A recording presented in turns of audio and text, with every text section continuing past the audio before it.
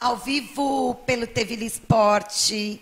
Gente, a gente sim, a gente fomos no banheiro, fomos lá comer um, uma coisinha, tomar uma champanhe e voltamos aqui com vocês. E vamos aguardar aí a galera toda chegar de novo, chamar os amigos. Vou. Aquelas pessoas que fizeram a perguntinha no outro, no outro programa, no, no na outra live, manda aqui para mim agora, que agora eu vou fazer. Eu tenho uma pergunta aí da Edilane, que fez para o, o, o Hugo e para a Dani, né? Lê aí a pergunta da Edilane, vê. Pergunta para ele e ele pergunta para você. Isso, tá Isso. bom. Então eu vou fazer a, a da, pro Daniel. Eu vou ter que, eu vou ter que primeiro, tudo bem, sem problema. O que você mudaria na sua carreira, na sua trajetória e por quê? Na verdade, isso foi uma reflexão que eu fiz recentemente. Eu não mudaria nada, porque se eu tivesse que mudar alguma coisa, eu teria que mudar meu jeito de ser, meu jeito de agir, meu jeito de resolver as coisas e eu deixaria, por consequência, eu me perderia no meio do meu caminho, me deixaria de ser eu mesmo, talvez eu nem estivesse aqui hoje, né? É, eu mudaria a forma de algumas coisas como eu fiz, algumas entregas, algumas dedicações, que eu acho que tudo tem que ter o um equilíbrio, né? Acho que quando é demais, principalmente no carnaval, onde não se tem respeito, tudo que é demais acaba sendo prejudicial. Mas eu não mudaria não. Eu sempre digo que tanto na minha vida pessoal, na minha vida religiosa, quanto na minha vida no carnaval, eu digo que tortos foram os caminhos que me trouxeram até onde eu estou hoje. Então eu não, eu não mudaria. Eu fui feliz com todas as minhas parcerias. Eu falo que de 100% das minhas parcerias eu devo ter aí perdido 20% de contato. Então estatisticamente é um é, uma, é baixíssimo, entendeu? E o restante, na, na maioria, eu tenho algum contato. É lógico que a gente perde vivência, porque vai um para um lado, outro para o outro. A vida segue seu rumo, né? Mas o carinho, as recordações, a gente leva para a vida inteira. Graças a Deus, esse eu tenho. Hugo, agora vai vir o chumbo trocado. E aí, Hugo? Segundo nossa amiga Edilane, qual foi... Eu até me perdi agora. Não, é. agora, antes, ó, Marília Gabriela Pinto. Vani, o Hugo parece vocalista do Assim Você Mata o Papai. Quem é essa? Quem é? Depois você manda foto Não pra sei. mim, tá? Los Angeles, é da nossa época. Mas qual foi a sua maior realização? Lembrei agora. E a é. sua maior decepção no carnaval? Ah, verdade. É, eu acho que a maior realização, né, foram as ver, verdadeiras e poucas amizades que eu conquistei no Carnaval. Como, dentre elas, é, Marcelo, Messala da Mancha, Conceição, que hoje não está mais no Carnaval, mas foram umas pessoas que começaram a, a me direcionar. A própria Edilane, que fez a pergunta. Enfim. A decepção foram das pessoas de conhecer o quão sujas as pessoas podem ser, o quão traiçoeiras as pessoas podem ser, é. o quão baixas as pessoas que você apostava ter boa índole acabam te decepcionando. Porém, ao mesmo tempo, isso é muito bom porque você acaba tendo uma malícia maior. É. Mas isso, a priori, assim, é uma coisa muito é repulsa. E, eu, e assim, só emendando com a situação da, da moça da porta-bandeira, é, tudo isso vem se, vem, vem, se intensificando muito mais, justamente com essa questão das mídias sociais, do não saber canalizar a utilização da mídia social para uma coisa boa, porque na verdade as pessoas perderam tempo fazendo um vídeo para para escrachar, para denegrir né? a imagem da pessoa, né? Só que a gente vê tantos projetos acontecendo dentro de quadros de escolas de samba, tantas ações voluntárias acontecendo, e aí ninguém perde. E aí pra, isso é não, é perda de tempo, não, porque assim falar de coisa é. boa é perda de tempo, né? Agora falar de coisa ruim, que é o que vai trazer os views que eu tanto preciso. Exatamente. O pior, sabe o que, que me indigna no samba de hoje? Que no carnaval da antiga não era assim na época de Gil, Sônia Maria, entre não. outras. Não tinha essa, essas picuinhas de porta-bandeira, messala e, e pararapiriró. Entendeu? Então eu acho assim, lindas, vão cuidar das, de trazer suas notas para suas escolas, bem. Vocês não são quisito? Vão cuidar, bem. Vocês estão preocupadas com a menina lá de Vitória? Olha, eu, eu vi, respeito também a tradição, entendeu? Porque quando eu chego na minha quadra, eu não, eu não importa se o meu mestre sala ou a porta-bandeira, que é o contratado da escola que eu, a qual eu, eu pertenço, venha me, me, conduzir o pavilhão, não. Eu vou lá e beijar, vou lá é, beijar o pavilhão. É entendeu? Porque eu sou sambista, entendeu? E, e eu tenho esse respeito. Agora, pegar, ficar postando, fazendo montagem. Cresçam, queridas. Cresçam. É, é cresçam, né? Desculpa, a chapa deu uma. Não, mas é, eu fico também indignado, né? Como Sim, diz o samba do vai vai, né? Não suporto mais o samba perdendo a tradição, né? É, é a verdade. Meu amigo tá? Xuxa veio aqui e disse que ele vê sambista quando ele olha para trás. Isso é verdade. Entendeu? Então, eu falo que, eh, como eu disse logo de início, quando você me perguntou da minha trajetória, eu tive a oportunidade de conviver com grandes nomes do, do carnaval. É, então, assim, mesmo em momentos ruins, hoje eu olho para trás e eu vi que eu tive grandes aprendizados. Às vezes a gente, as pessoas testavam isso, a gente, é. elas testavam a gente, falavam não, você vai dançar ali, você vai fazer isso, mas havia um respeito das da, a gente que estava chegando respeitava quem já estava, né? Hoje você não vê. E os isso. antigos e os antigos apoiavam a, a nova geração daquela época, né? Não, não, e os novos respeitavam os antigos era sem um picuinha, sem a picuinha de hoje. Um até porque mútuo. talvez não teria rede social, ou mas, mas havia aquele respeito. Eu cheguei ainda a pegar, Ovani, uma época muito legal, logo quando eu comecei a dançar. Eu lembro que nós éramos uma turma, eu, Adriana Gomes, esse senhor aqui, ó, que dançava também.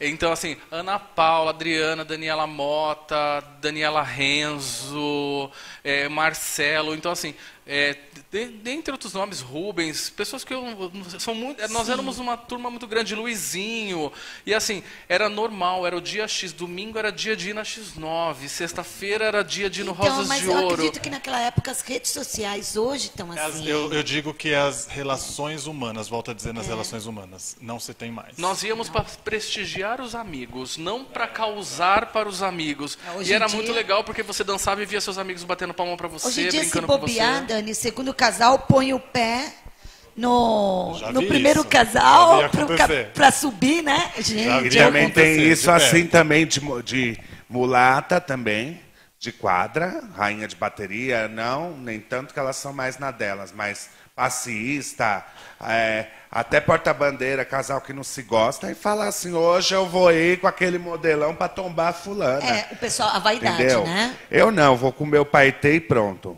Entendeu? Porque eu não vou para aparecer, eu vou para fazer acontecer, sabe? E as pessoas têm que pensar nisso. É, volta um pouco lá atrás, vamos retroceder, vamos.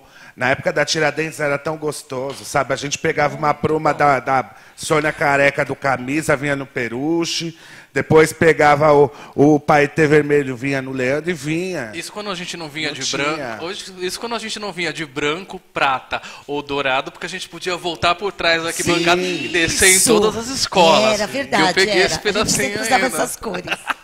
Lu, vem aqui dar aquele recadinho. Enquanto isso, Lu, ó, vou dar um beijo aqui também para Roseli, nossa primeira dama, tá aí ligadinha. Ela sempre compartilha o nosso programa. Pastorelli. Edilene, aí, ó, recebe, recebeu, né, foi feita a, a pergunta e a resposta para Edilene. Jorge, beijo, Jorge, Jorge aí, resistência vai, vai, sempre aí ligadinho.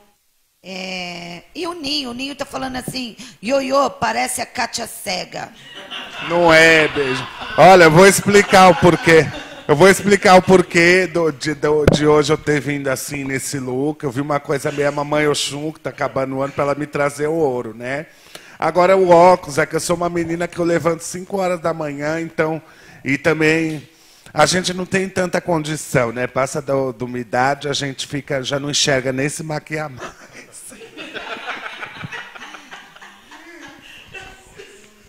Lu, dá um recadinho aí, Lu. Peraí. Olá, pessoal. Então, é, tem um projeto, Amigo que Faz, junto com o Bets Club, o nosso T-Vila, e o pessoal do Tricampeão Tradição de Ouro, que a qual vai estar fa- dia 16 de dezembro, a partir das 10 horas, na Escola Estadual Professor Paulo Sina, na rua João Louro, Luso, né? Vila Tibiriçá, Santo André. Lá, as mil crianças que foram cadastradas vão receber sacolinhas das suas madrinhas e padrinhos. Vamos, vamos com, participar dessa festa junto com o Papai Noel. Beijo! A Lu, dando esse recadinho, pegou, foi pega de surpresa agora, né, Lu? Então tá. E agora, gente, eu vou falar assim, ó. Quem tiver aí agora, quiser ir lá no show do Pichote, domingo, gente, põe aí, hashtag eu quero, ou se não, me manda lá no meu inbox, eu quero ir. Eu mando convite para vocês, espero vocês na porta, ponho o nome na lista, aguardo vocês uma cadeirinha especial numa mesa, só não vou poder fazer mais que isso, né? Tá bom.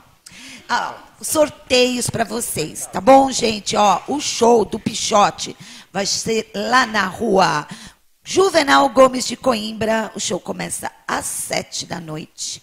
Vai ter também na Camisa 12, Festa do Piloto, onde vocês vão conhecer as fantasias para o Carnaval 2019.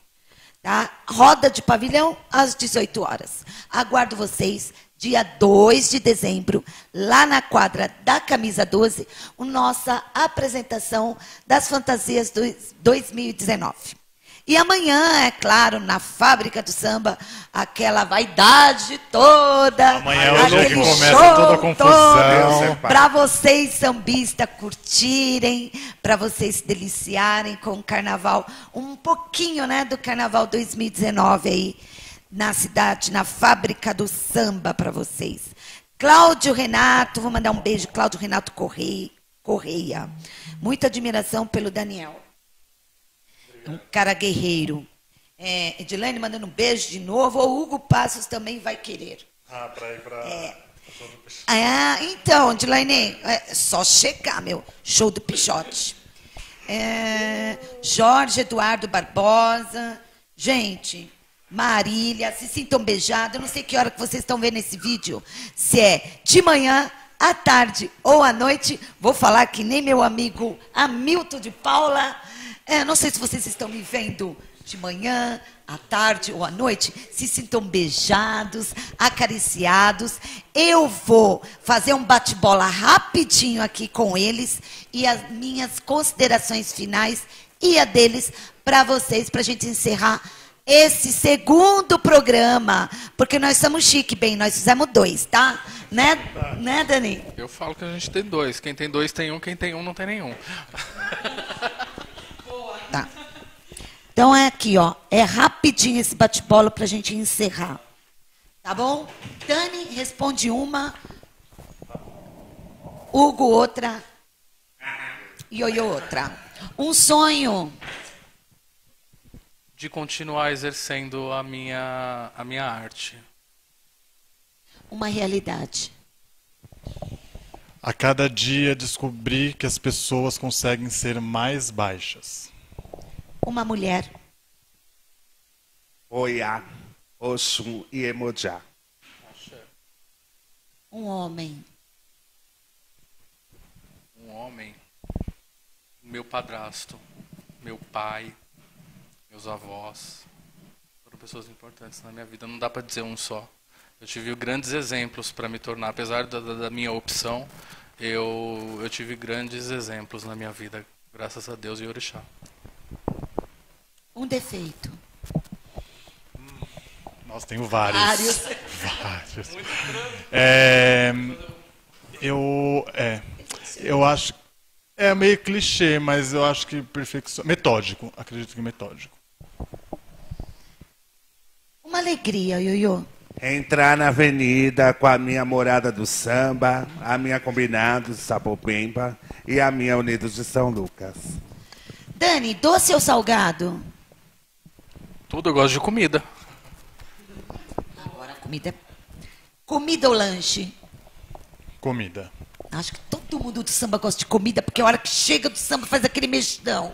Né? Costela. Fazer É, de lei. Mexidão. Essa aqui aprendeu a costela. fazer o mexidão. Com ninho. Aprendi com ninho. A gente gasta tanta energia, então a gente chega do samba, a gente quer comida, né? E aí agora eu vou fazer uma pergunta para os três. A mesma pergunta. Na lata. Na lata. Puxado agora, né?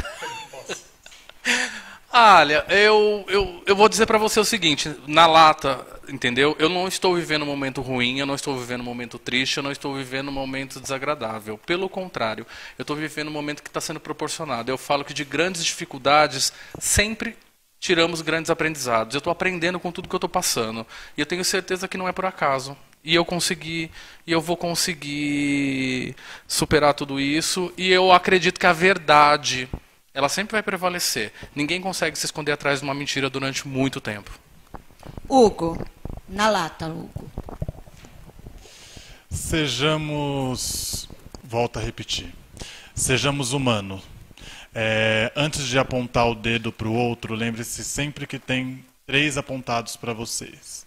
Então, vamos ser mais fraternos, vamos ser mais parceiros, vamos ser mais humanos um com os outros, principalmente no samba e principalmente amanhã, que, como você disse, é o grande dia, é o dia que vai começar a sair as fofocas, os disse-me-disse, enfim, tudo desse carnaval aí 2019. Tem gente que amanhã já vai dizer até quem é campeã. né? Melhor roupa, a campeã. É? Exatamente. Casal, então. Agora, Saber, vocês vão, vocês vão me contar depois, que a gente vai tomar uma cerveja, Tá. aí vocês me contam como é que foi que aconteceu. Mim também. Agora, pra ioiô não é na lata, não. Pra ioiô é nem fudendo, ioiô. Melhor deixar pra lá. Ai, não. É que eu sou evangélica, louca. Não, nem, nem fudendo, entendeu? Eu vou ser hipócrita de sair do meu terreiro de samba pra ficar pagando pau por escola, por, por status aí. Entendeu? Ou pra neguinha, ou então pra, pra pagar pau. Entendeu? Eu sou isso, pronto e acabou. Eu ponho a cara no sol e pronto. Eu sou isso. E o é que tem pra isso. hoje. E é isso, agradeço vocês todos. Tá? Agradeço. E olha, gente, de casa, galera aí, caiu a, live, a primeira live, já está aqui a segunda. Compartilhe as duas, porque o, o- a galera aqui, ó, fez duas lives. O time é bonito, o time é grande. Teve lá aí a, a chuva que aconteceu aqui em Santo André e algumas partes técnicas. E aí, vamos compartilhar essa daqui também. Considerações finais de Dani. Bom, eu queria agradecer a oportunidade que vocês me deram, é, de, de poder contar um pouco da minha história, contar um pouco do Daniel, né, que a gente é muito mais, a gente vai muito mais além de samba. A gente vai a vida, família, trabalho. Muito obrigado, muito obrigado mesmo. Bom, mais uma Hugo? vez, obrigado, né, Vanderlé, toda a equipe aí pelo convite. Quero agradecer também, estender os meus convites, os meus agradecimentos ao Imperador de Ipiranga, ao pessoal que está me Fábio representando. Gouveia, já veio Isso, aqui. Fábio, Márcio, são pessoas assim incríveis, estão me dando todo o apoio lá. Ah, o pessoal também que está fora, sob minha responsabilidade, os dançarinos que estão na China. Uma delas é a Lenita, porta-bandeira. É... Ah, eu também. Ives, né? A Ive, Ive Mesquita, né?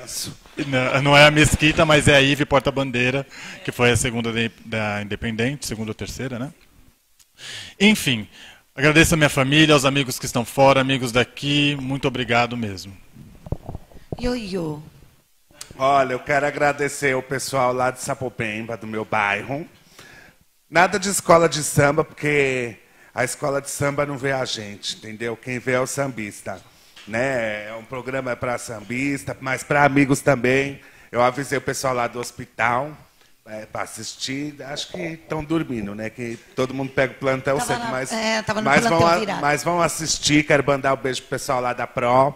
Quero mandar um beijo pro pessoal do Orixá, meus irmãos de Axé, minha família de Axé. Quem não é de Axé também. E Axé para vocês, que Oxalá abençoe os caminhos de cada um. O encerramento de 2018 e o início de 2019, que haverá muita transição no próximo ano. E que seja para o positivo. na Já vida. estendo o convite para vocês estarem com a gente no nosso encerramento, é, no dia 14, onde a gente faz um boteco, uma roda de samba, lá na Tradição de Ouro. Aí cerveja, roda de samba, Não, aí tá aquela chegando. descontraída toda. E vocês também que estão aí, dia 14 de dezembro, o Boteco da Vânia Especial, final de ano, com todos os apresentadores aqui do Tevila. Lu, considerações finais, Lu? Atrasada? Desde já agradeço todas as minhas clientes da podologia, manicure, que eu atendo a domicílio. Ah, É, por Ah, isso que às vezes eu chego atrasada. nós Vamos combinar. Ah, o pessoal do da Leandro de Itaquera. Um beijo a todas o pessoal das passistas, minhas parceiras. Eu agradeço pelo carinho que com- compartilhou. Ninho, saudade, Ninho, do seu mexidão, de você, de tudo. Beijo. Beijo pra Elisete. Beijo, Elisete. E é isso aí, gente. Vamos encerrando mais um Francamente com Vani Franco para vocês. Semana que vem a gente estamos juntinhos de novo. Tchau.